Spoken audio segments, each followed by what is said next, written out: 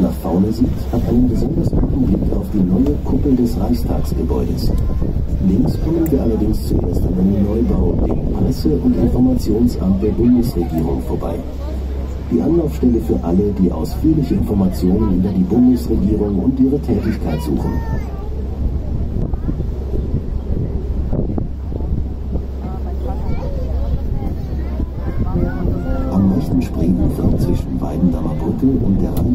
Rheinradstraße liegt der Schiffbauer Damm, der, der Name verrät es schon, nach holländischen Schiffbauern benannt wurde. Diese kamen zu Zeiten des großen Kurfürsten nach Berlin und gingen hier ihrer Arbeit nach. Die Schifffahrt spielte auf den Wasserwegen der Stadt immer eine große Rolle. Mit Beginn der industriellen Revolution wurde zusätzlich ein Kanalsystem geschaffen, welches neben der Spree wirtschaftlich genutzt wurde. Heute sind es allerdings hauptsächlich Touristen, aber auch die Berliner selbst, die die Wasserwege jetzt zu ihrem Vergnügen nutzen.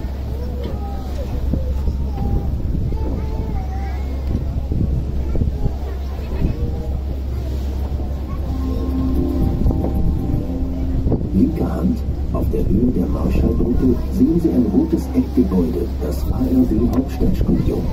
Von hier aus wird auch der Bericht aus Berlin gesendet. Auf der anderen Seite der Spree, noch vor der Brücke, ist der Berliner Sitz der Nachrichtenagentur Reuters.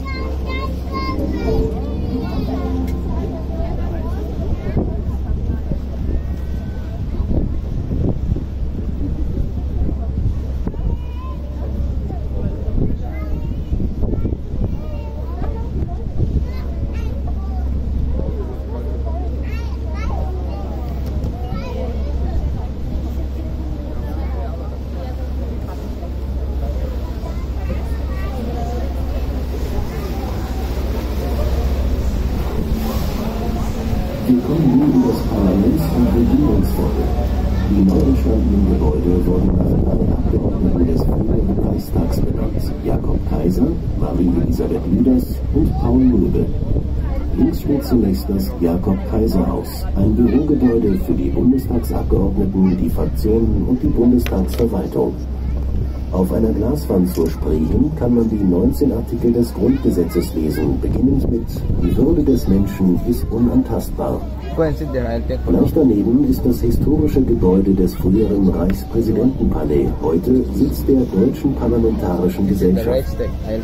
Der Neubau rechts so wassergewandter Freitreppe ist nach der früheren Reichstagsabgeordneten Marie-Elisabeth Lüders benannt. Die erste Frau, die an einer deutschen Universität den Doktortitel erwarb. Das Gebäude ist Sitz der Parlamentsbibliothek, weltweit die drittgrößte nach denen in Washington und Tokio. Bronzeskulptur auf dem ist ein Werk von Mario Marini, der für seine sich aufbäumenden Pferde und stürzenden Reiter bekannt ist. Zentrum des Regierungsviertels ist das. Reichstagsgebäude, heute Sitz des Bundestages. Die neue, runde, gläserne Kuppel ist ein Entwurf des britischen Architekten Lord Norman Foster. Die Kuppel ist nicht nur das hervorstechende architektonische Merkmal, sie dient auch der Belichtung und der Entlüftung des darunter gelegenen Plenarsaals. Die Terrasse des Parlamentssitzes und die Kuppel sind normalerweise täglich bis 24 Uhr für Besucher geöffnet. Links der dritte Neubau, das Paul-Löbe-Haus, ist Sitz der Ausschüsse und der Öffentlichkeitsarbeit des Bundestages. Zwei Fußgängerbrücken verbinden das Gebäude mit der Parlamentsbibliothek. Die untere ist öffentlich zugänglich, die obere den Abgeordneten und Bediensteten des Bundestages vorbehalten. Die Berliner nennen die Brücke deshalb auch die höhere Beamtenlaufbahn. Das blaue Gebäude links beherbergt die Kindertagesstätte des Deutschen Bundestages. Im gegenüberliegenden Gebäude befindet sich die Bundespressekonferenz, der Ort, an dem deutsche Politiker von Journalisten so richtig in die Mangel genommen werden können. Die neue Kronprinzenbrücke vor uns ist eine moderne, licht- und leicht wirkende Konstruktion des Spaniers Santiago Calatrava, der gerne Tier- und Pflanzenformen in die Architektur überträgt.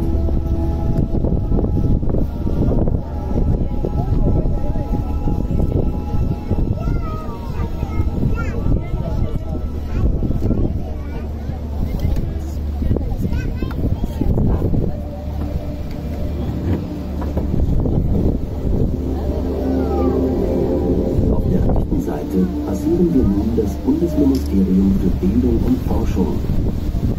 Der Hauptsitz des Ministeriums befindet sich in Bonn. Ursprünglich wurde das BMBF 1955 von Bundeskanzler Konrad Adenauer als Bundesministerium für Atomfragen gegründet. Mittlerweile sind die Aufgaben des Bundesministeriums für Bildung und Forschung weitaus vielfältiger. Der Ministeriumsneu